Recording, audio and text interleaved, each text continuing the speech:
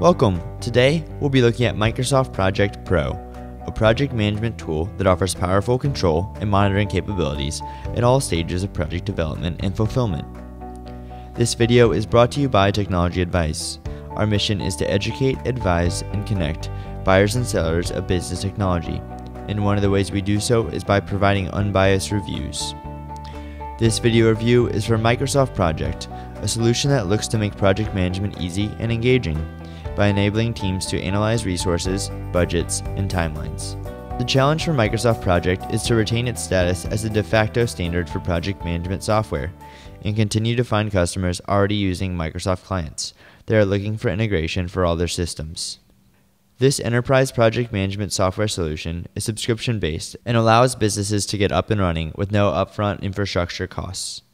New users, teams, and projects can be added instantly via a web based portal, allowing companies to scale use as they grow. The interface should be very familiar for most users of Windows products, with the tabs at the bottom and ancillary information in the row below.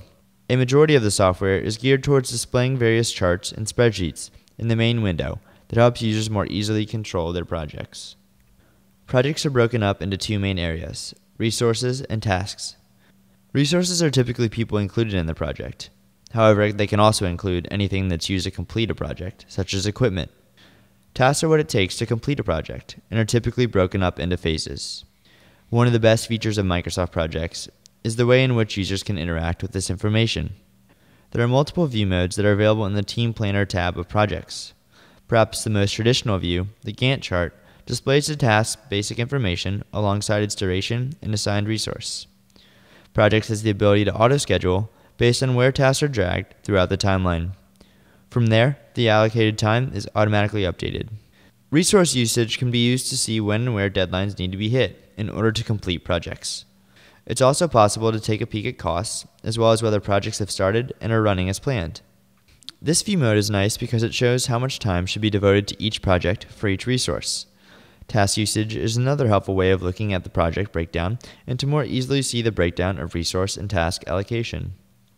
One of the many available methods to display your information is the network diagram, which offers the user a more visual display of what needs to be completed to finish the project on time. The calendar is also a different way of visually looking at data and resources.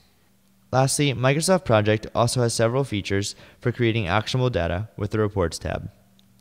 Made for medium sized companies to enterprises, Microsoft Project is available at a high price point.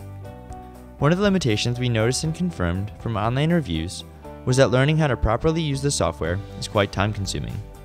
It's also meant for those already familiar with the project management process and can be frustrating for those still learning. In summary, Microsoft Project allows team members to manage tasks, collaborate, and more. Make project management easy by enabling them to analyze resources, budgets, and timelines. And it helps measure progress and anticipate resource needs with out of the box reports.